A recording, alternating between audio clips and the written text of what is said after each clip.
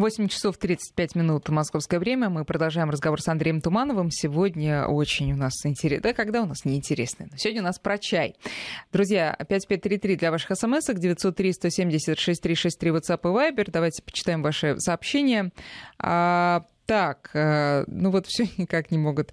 А, э, все пишут про это стихотворение, раз велел мне барин чай сварить, и спрашивают, а что ж там было дальше? А вы почитайте, узнаете, там интересно. Да, я тоже обязательно почитаю. Но, но то, тоже пишут, что дедушка кому-то рассказывал уже не, 8, не 812, хотя не 912 года, а 1896 года рождения. Ну вот понятно, что корни такие глубокие. Так, теперь, значит, как пьют чай, слушают, э, пишут наши слушатели.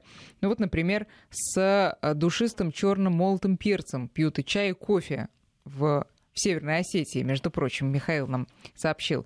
Ну да. вот я масалу-то делал тоже с перцем, индийскую, с перцем, с, перцем, да. с гвоздикой, все это там мешается, варится с молоком, и как раз вот на простуду самое лучшее. А, летом, конечно, с черной смородиной с листьями или с мелиссой и мятой, это понятно, хорошо. А на Кубани вплоть до 60-х годов чай – это ложечка варенья, залитая кипятком а летом ягоды, растертые сахаром и залитые тоже кипятком, хотя чай знали, но мало кто пил настоящий, представляете?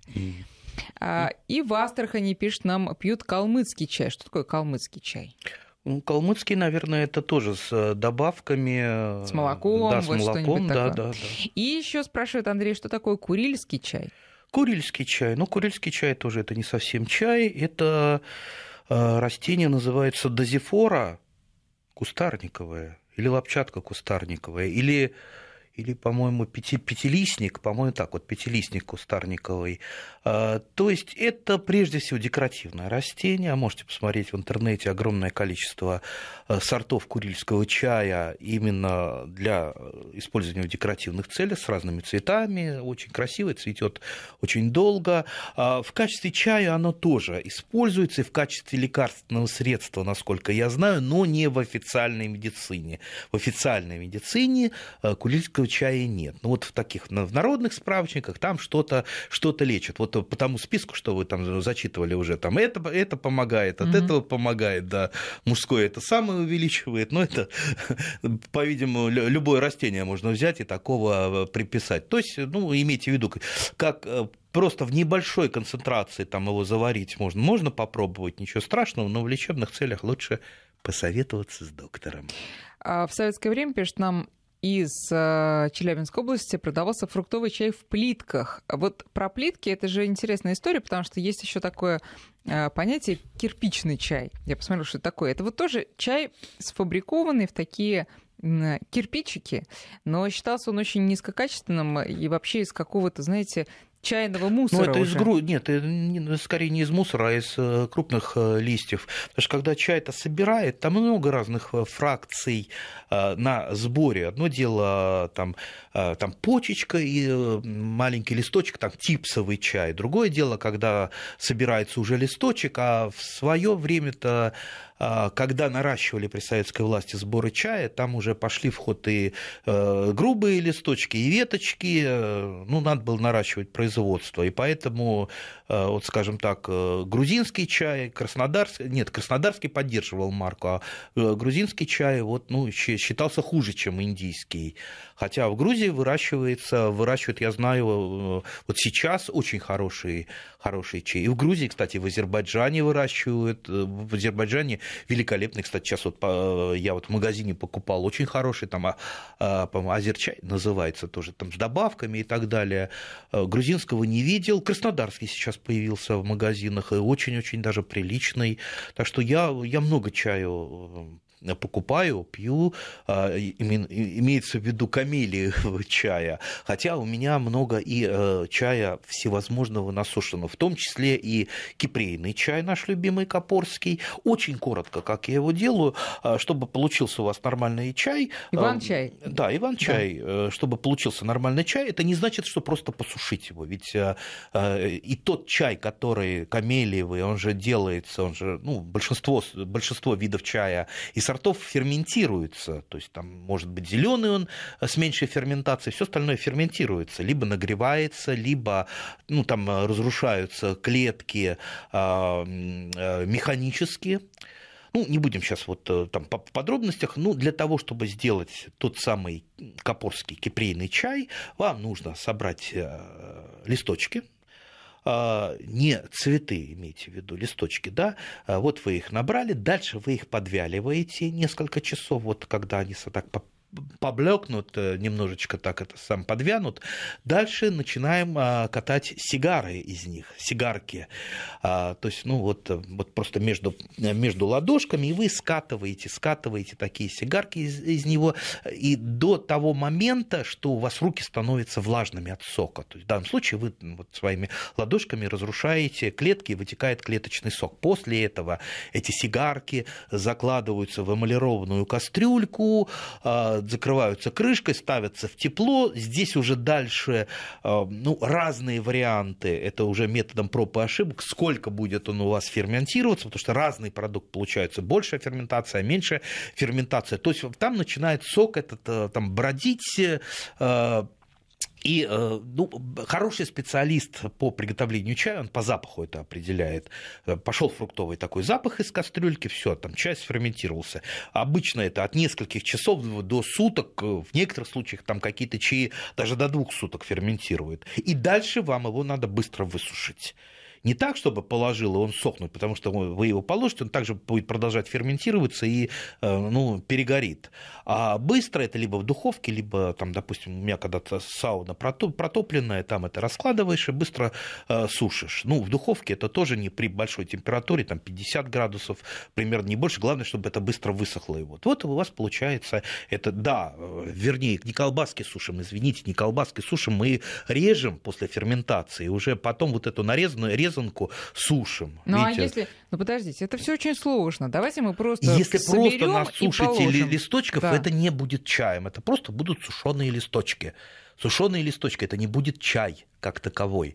Так что, ну, можете попробовать. Ничего от листочков кипрея э, ничего плохого не будет. Наоборот, почитайте, что, что там он лечит у вас. То есть, подождите, чай это у меня он ничего не лечит, только э, в, в целом э, бодрости придает. Так, что, значит, чай от сухой травы чем отличается, получается? Тем, ну, в данном случае капорский чай это ферментированный чай, вот, который сделан вот так, как я примерно описал. Это очень примерное описание, потому что у каждого каждой деревне был свой способ приготовления а, капорского чая, там разные, фермен... разные ферментации. А, в некоторых случаях его подкрашивали жженым сахаром, чтобы он покрасивее выглядел, да? А, у нас тут вот про калмыцкий чай очень много стали писать из разных областей, а, и пишут, ну, разное. Но я, на самом деле, нашла уже в Википедии, что такое калмыцкий чай. Э, можно и э, это почитать, и то, что пишут слушатели. Значит, э, раньше это привозили просто чай из Китая или из Грузинской ССР, например. Это старые чайные листья, а, плюс зеленые и одревесневшие стебли. И потом это все определенным образом варилось с добавлением соли, а, молока, мускатного ореха, лаврового листа, гвоздики, масла и так далее. Наши слушатели пишут, вот, например, такой, из Астраханской области брикетные спрессованные стебли а, листьев чая варится, добавляют, ну, то же самое молоко, масло, соль. А вот было еще сообщение о том, что нет, по-другому немножко делают. А, это сбор степных трав, а не чайных листьев. Ну, тоже ингредиенты те же, молоко, масло, соль. Ну вот, в общем, вот калмыцкий чай это вот что-то что такое. Ну что ж, разные варианты. Да. Теперь переходим к тому, что мы на даче можем вырастить и сделать чай уже из э, своих, своего сырья. Ну вот из чего я делаю. Тоже мне подсказывайте, из чего вы делаете, да, потому что вариантов множество может быть, и мы можем что-то упустить. Например, я делаю очень много чая из облепиховых листьев из облепиховых листьев, можно тоже с ферментацией, можно даже без ферментации просто их посушить. А, очень похоже на такой легкий-легкий китайский зеленый чай, который имеет такой слабенький навар, но аромат и самое главное, ну, в облепиховых листьях много очень витаминов, как и в самой облепихе, в ягодах. То есть это действительно очень полезный э, чай вот с точки зрения именно витаминов, ну и прочих-прочих нужных нам веществ. Так что облепиховый чай вот просто даже как вот на, настой иметь где-то там в криночке, либо э, в графинчике, просто вот чтобы попить там холодный. Это замечательно, это вот для вашего организма будет только большая-большая радость. Тем более, когда я собираю облепиху, очень много листьев остается, потому что э, я собираю облепиху таким образом, что часть я собираю ягод на, э, с куста, а часть я обрезаю веточки, особенно веточки, которые там уходят вверх, чтобы она не э, лезла вверх. А, и веточки, которые смотрят вниз, они все время все равно засыхают, чтобы это можно было в спокойной обстановочке там дома а, обирать. Ну, естественно, остаются веточки, листья. Кстати, молодые веточки тоже можно в чай покрошить, а, они дают дополнительный цвет. Вот облепиха, кстати, ее, как я уже сказал, можно э, и э, поиграть с ферментацией тоже, как вот э, с капорским чаем, либо можно просто так посушить. Там получаются разные варианты, но это надо уже самому пробовать тематика, что вам больше понравится. Ну, вот э, насчет листьев облепихи, помните, это очень-очень полезно, самое главное, доступно, э, то есть на каждой даче листья, листьев облепихи много, особенно если есть у вас мужская облепиха, которая кроме опыления ничего не дает, вот мужскую обирайте, Обдирайте, на да. листья, да. Ну, а все таки есть у нас шанс э, что-то похожее на настоящий чай вырастить в mm. центральной России? Ну, камелию китайскую точно не вырастить, потому что, ну, севернее Краснодарского края, увы, она не растет, не будет расти. Дома, дома, дома, в принципе, да. А, ну, правда, правда, она не так красиво цветет и более прихотливо, чем камелия японская. Но, в принципе, можно а, размножить ее можно либо черенками, укоренить черенки. Черенки не очень хорошо укореняются, поэтому лучше применять укоренители типа гетероаксина, корневина и прочее, либо семенами, если где-то семена а, камелии достанете. Только всегда узнавайте, какая это камелия. Просто Эм, надо жизнь прожить так, как сказал классик, чтобы не перепутать камелия. Да. Ну, а что, можно прямо на подоконнике и тоже стричь листочки и делать ну, чай? Ну, можно, но много вы не настригете, знаете. Э, я много выращивал э, и субтропических растений, и лимонов, и там, каламандины, э, мандаринчики, и растения, кофейное дерево выращивал, и гранат выращивал. Э, там есть э, хитрости, но в принципе чай это не э, вот именно камелия китайская это не самое сложное, но вы немного с нее настригете чая, немного, потому что, знаете, все-таки все-таки вот обстригание чая это достаточно такая операция для нее не очень приятная, особенно осенью и зимой просто начинают опадать э, с нее листья, то есть ей не хватает солнечного света, а тут вы еще ее обстригли, она вообще может э, засохнуть. Поэтому с ней надо э, очень осторожно с камелией китайской. То есть это как вот с лимонами. Лимон выращенный – это скорее достижение, а не какая-то там вот э, вы выращиваете лимоны ради того, чтобы у вас там были. Вот вам надо что-то достигнуть, там попробовать там две чашки чая, и этого, я думаю, Своего, да, да, этого достаточно. А, из Санкт-Петербурга вас благодаря, благодарят за облепиху. Пишет, раньше знал только про аромат листьев смородины, теперь буду добавлять облепиху, еще чебрец, конечно. И чебрец. Да. А вот про мяту мы уже э, упоминали. Мят ведь тоже много разных. То есть это и мелисса лимонная, это и котовники, э, это ну, разные мяты бывают. Посмотрите справочники, их много. Кому-то одна больше по вкусу, кому-то меньше. Вот я, например, как-то вот не очень идет котовник, хотя кто-то вот у меня, ко мне приезжает, этот котовник э, набирает в больших количествах, вот нравится, потому что у котовника немножечко такой вот а, слишком яркий запах и карамельный вкус. И вот этот чай э, с котовником, а, вот для кого-то он представляет такую ценность. Для меня нет. Я скорее люблю вот обычную там мяту перечную а, и а добавляю ее... Похож этот котовник или кошачья мята? Нет. На перечень? На мель... Нет, совсем не похож. Мелись. Э, по вкусу и по запаху совсем не угу. похож. А, а, но вот обычная мята, я ее совсем немного добавляю. Вот, ну, получается не мятный напиток, а просто вот э, внести чуть-чуть, э, совсем э, чуть-чуть нот, нотки какие-то. То есть она немножко облагораживает не очень хороший чай. Когда есть, вот на даче завариваешь, там не самый лучший чай, вот чуть-чуть мятки добавил, там буквально там маленький кусочек листочка, вот, чуть, вот вкус улучшается. А из Санкт-Петербурга еще один, э, одно сообщение. В этом году сделала чай из вишневых и яблочных листьев. Очень вкусный получился. У яблочного просто солнечного янтарный цвет и очень вкусно. А я, э, ну, я думаю, тоже не отравятся люди этими листьями. Нет, конечно. Вот я просто вспомнила, однажды я разговаривала с одной дамой, которая э, работала в чайной индустрии.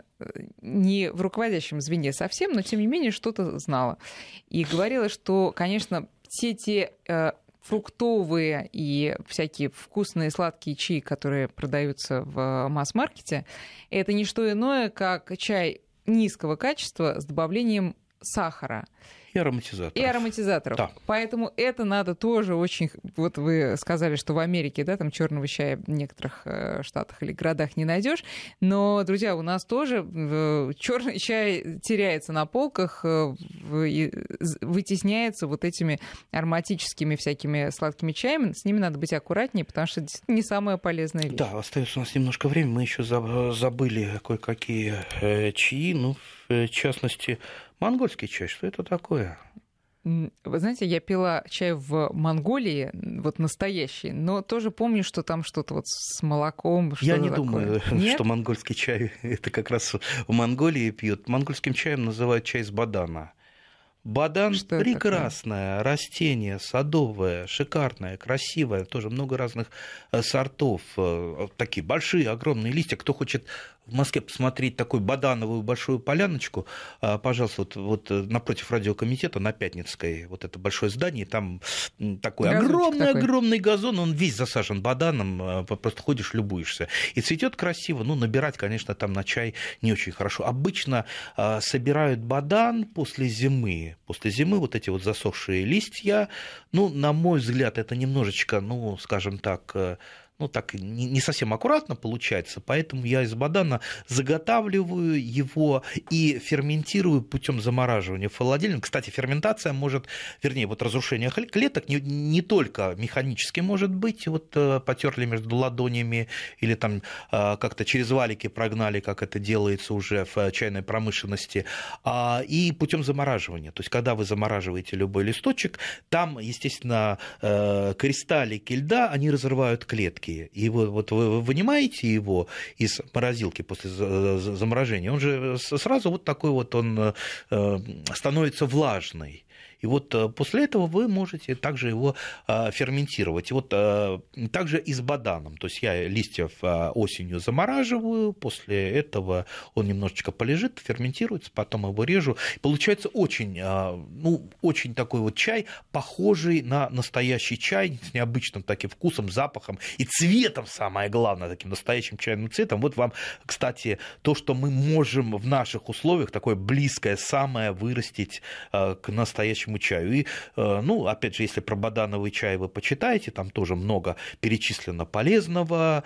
Э, так что Хорошо. Читайте и лечите все болезни. А, пишет э, еще из Москвы, чай получается втройне вкуснее и ароматнее, когда он приготовлен в, дроверу, в дровяном само, самоваре или на костре. Почему в самоваре чай вкуснее? Чем в чайнике? Ну-ка, расскажите. Ну, самовар это целый процесс. Я готовлю, э, растапливаю самовар. Это самовар еще дедушки моего. А, то есть мне папа рассказывал, что они возили этот самовар куда-то никелировать, потому что это старый был самовар еще до войны, куда-то на какой-то завод, и вот его отникелировали за какую-то плату. Это сейчас вот этот никель, он даже немножко стерся. Так что это старый самовар э, достаточно. Ну, разместите в э, соцсетях фотографию. Я многократно помещал. Да? помещал. Он 7-литровый 7-литровый, и фактически вот 7 литров, представьте, вот э, если там один человек, два человека, это чаепитие плюс помыть посуду, посуду. Всегда горячая вода. А если, как раньше в деревне, там же несколько раз в день протапливали самовар, всегда горячая вода была. Так что самовар это здорово, там практически на него дров э, не надо, там несколько щепочек, шишечек, э, все что угодно. Запах, естественно, такой вот с дымком. Ну, вода, конечно, либо колодесная, либо у нас на даче вот артезианская артезианская вода из скважины. Вот представьте, вот пошел с этой с бутылкой большой пятилитровой с несколькими, э, там кнопочку нажал, тебе из, из этих слоев поднялась эта артезианская вода, сразу же ее в самовар затопил, и там полчаса, и вот уже кипящий самовар, и чай. Э, чай тоже свой, допустим, с разными вариантами. Вот сейчас вот про фруктовые мы говорили. Я же тоже делаю фруктовые а, и тоже необычные. Вот, например, а, вот созревает у меня малина. Остается малина такая вот мятая, которую там на варенье и так далее. И тут у меня, допустим, я там набрал листьев облепихи, тоже сушу, сушу. Я перемешиваю ее вот так вот с, с этой малиной, листья и высушивают. То есть она пропитывается С облепиха. малины, да, листья облепихи. Облепиха пропитывается еще соком малины. Получается вообще э, очень интересные вкусы, интересные варианты. А таких вариантов много, ягод там много разных.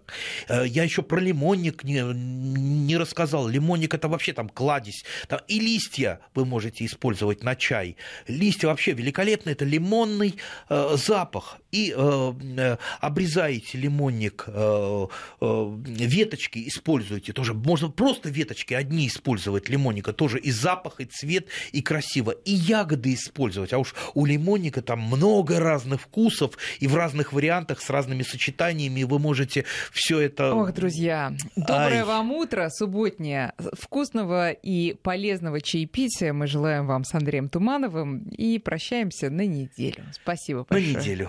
Хорошего чая.